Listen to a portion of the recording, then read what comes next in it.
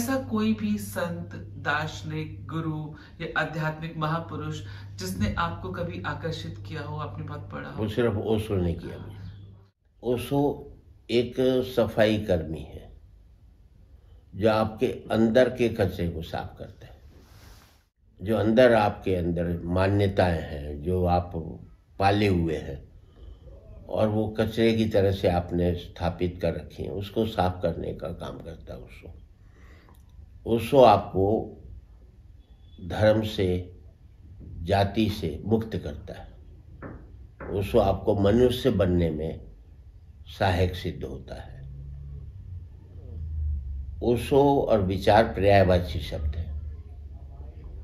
और ओशो का एक वाक्य बहुत बड़ा है कि अगर कांटा चुप जाए तो उसे कांटे से निकालते हैं, पर ज़रूरी नहीं वो कांटा सहेज करके रखा जाए अपने पास। उस कांटे को भी फेंक देना चाहिए। दूसरे सबसे बड़ी बात यह है कि ओशो ने सत्य का बहुत सहारा लिया है। इसलिए उसके दुश्मन पैदा हुए। थोड़ा सा अगर झूठ का मिश्रण कर देता तो आज ओशो पूरे वर्ल्ड के अंदर छाया रहता। क्योंकि कईयों की मान्यताओं को ठेस पहुँची, कई धर्म गुरुओं को ठेस पहुँची। तो जो लाल लपेट करके बात करने वाली बात है जो बाकी सारे साधु सन्यासी आजकल कर रहे हैं उसमें ओशो का मैं कह रहा हूँ हंड्रेड परसेंट नहीं एक परसेंट भी थोड़ी हो जाती जो कि ओशो के नेचर के बिल्कुल खिलाफ थी। आपको उम्र में कभी ओशो को सुनने या पढ़ने का मौका मिला कभी? सुनता तो मैंने पहले मेरी कैसेट गाड़ी में सिर्फ़ ओशो की रहती थी। जिसमें उनका जो एक कैसेट है जो भारत की समस्याओं के भारत के भारत के जलते प्रश्न। जलते प्रश्न।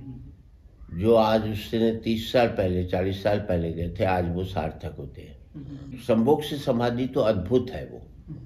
हमारा लेवल इतना ऊँचा नहीं उठा अभी कि हम उस चीज़ को एज इट इज़ स्वीकार कर सके। ओशो की जो हम छवि की बात करें और उनकी भाषा शैली और प्रवचन तर्क की बात करें इस पर आप कुछ कहना चाहेंगे मैं लोग कहते हैं ना कि हिंदी जो है वो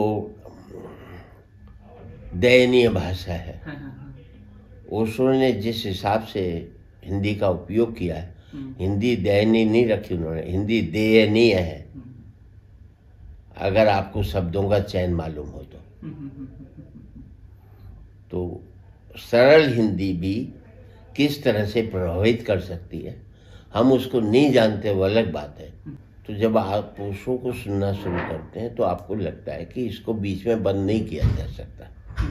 तो अपने समकालिक और आज के दिन बात करें तथा कथित संतों से सदगुरुओं की भीड़ से ओशो का कितना कैसे भिन्न पाते हैं? वो समुद्र ओशो के समुद्र में से लोटे ले लेकर नहा रहे हैं सब लोग। ठीक है आप सच में